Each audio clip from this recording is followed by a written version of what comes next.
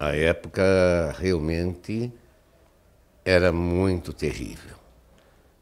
Quase ninguém fazia cinema. Não tinha. Surgiu a Vera Cruz, Maristela, Multifilme, Cinédia, mas fecharam toda. E queira ou não, eu acho que eu dei uma grande força ao cinema, que era só problemas de estúdio. E um dia eu peguei no Reflex, gritei, a partir de hoje começa o cinema independente.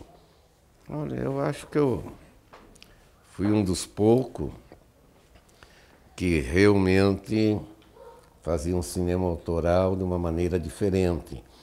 Eu ia nas grandes firmas como Maristela, Veracruz, Multifilmes, pegava aquilo que eles consideravam resto, jogavam 60 metros de negativo fora.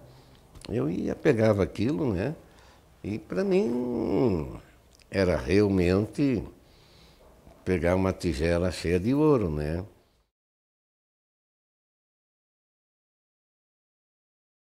Normalmente já sabemos que a grande dificuldade é ter dinheiro, né? Então essa é a dificuldade maior. As outras vai de você conseguir uma boa equipe, equipe realmente que é fiel ao seu trabalho, né? Produtor que acredita realmente em você, né? E os atores que realmente se entregam de corpo e alma. Que eu acho que eu fui um dos poucos a fazer cinema onde de repente uma pessoa aceitava que eu furasse a língua dela, né? Claro, ele era faquir, então não tinha problema. E mulheres enfrentando cobras, poço de cobras, aranhas caranguejeiras andando pelo corpo, escorpião.